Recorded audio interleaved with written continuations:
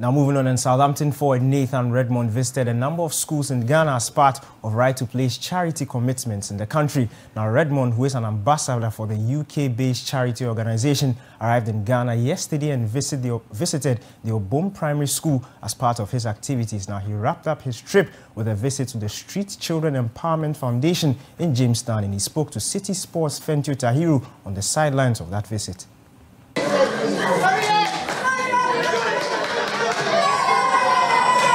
I flew 2:30 um, UK time from London, uh, but this was this was organised and, and planned for the last couple of months. So it was always the plan that when the season finished, I come here and really experience uh, um, some of the stuff that Right to Play are doing. Uh, I understand this is your first time in Africa. Mm-hmm. Tell me what it's been like to especially come to Ghana, a place with so much history to got to, you know, the foundation of Africa as far as that's concerned. Yeah, it's been uh, very cultural. Um, I've enjoyed every single moment. You know, I've been to a lot of the rural areas outside, so where right to play effect. I've seen a lot of a lot of kids. I've seen a lot of teachers.